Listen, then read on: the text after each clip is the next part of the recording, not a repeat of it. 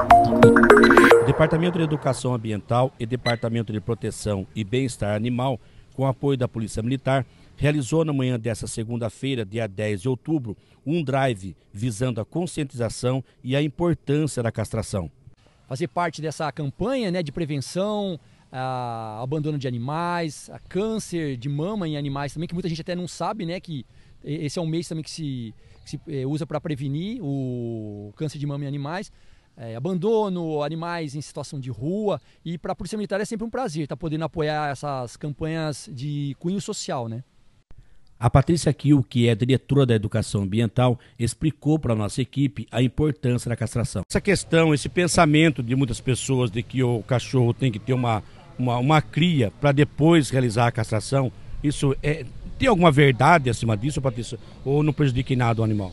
Não, olha, não tem necessidade, tá? A castração ela pode acontecer a partir dos seis meses de idade dos animais. Então, pode castrar, não precisa, não precisa ter essa cria. A partir dos seis meses já pode ter essa castração, tanto no macho quanto na fêmea.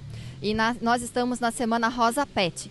Então, começou hoje as atividades, é do dia 10 ao dia 14. Então, pode nos acompanhar, né? Durante todas a, a, todos os dias nós vamos ter alguma atividade.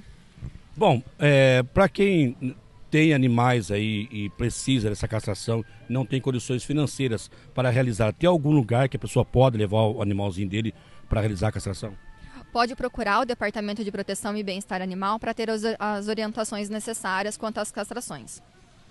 Patrícia, nós tivemos há poucos dias um caso em que um animal é, foi atropelado e o amiguinho dele ficou ao lado do animal.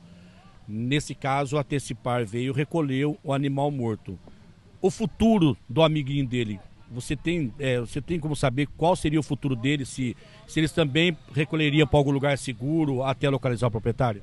Olha, nesse caso, eu vou pedir com a, o apoio da audiência do Rápido no Ar para nós tentarmos encontrar o tutor desse animal. Mesmo porque o local então já está bastante cheio também de cachorro lá, né? Sim, nós estamos com a lotação máxima no lar temporário do Departamento de Proteção e Bem-Estar Animal, infelizmente. Nesse caso também eu vou aproveitar, se alguém tiver interesse né, em adotar um animal, tanto um cachorro quanto um gato, que procure o departamento.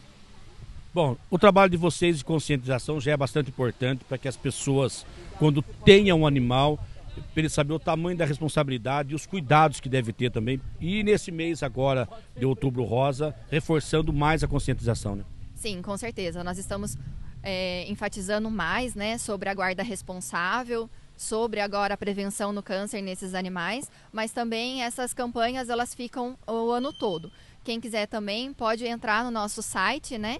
É o www.limeira.sp.gov.br barra meio ambiente e o nosso material de conscientização ele fica disponível lá. É barra também educação ambiental.